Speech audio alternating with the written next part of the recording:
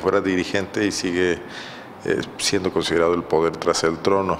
Más del 90% de los campesinos que integran la CNC en Guanajuato están decepcionados por las imposiciones, el acaparamiento de posiciones y también el, depotismo perdón, que muestra esta organización eh, bajo el, lo que llamaron el cacicazgo de Gerardo Sánchez García. Quien señala esto es César Ponce, un ex dirigente de la CNC en Irapuato.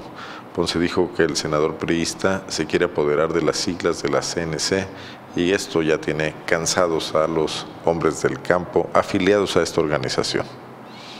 Del campesinado está decepcionado un noventa y tantos por ciento, por no decir que el 99 por ciento, porque esas imposiciones no nos ayudan a nada, no abonan a nada. Entonces, desgraciadamente, pues, pues eso va a seguir si siguen así con eso.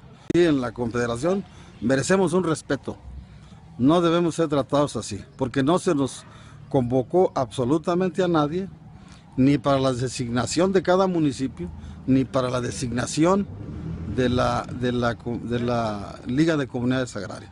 Y eso es decepcionante, y ahí me lo han manifestado.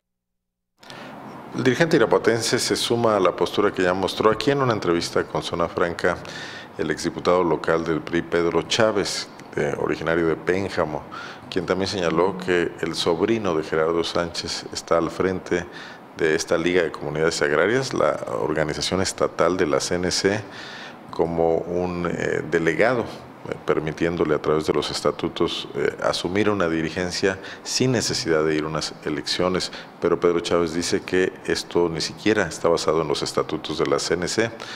César Ponce, el irapuatense, acotó que si ellos quieren hacer las designaciones de esta manera, por esto el partido, el PRI, entiéndase, sigue perdiendo posiciones, lo que representa una responsabilidad para esta dirigencia política.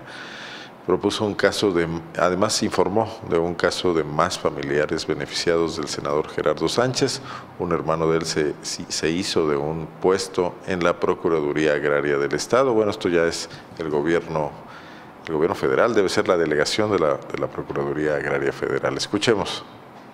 Pienso es que Gerardo Sánchez trae sus aspiraciones y quiere apoderarse a fuerza de las siglas de la CNC. Estoy diciendo las siglas, no de la Confederación. La Confederación somos todos, somos muchos campesinos. Si lo tiene Rigoberto parece ese dinero que lo regrese. Y si se le entregó a alguien, que diga a quién. Porque Conavi ya muy claramente dijo que él que él para nada hizo ese programa, ni mucho menos.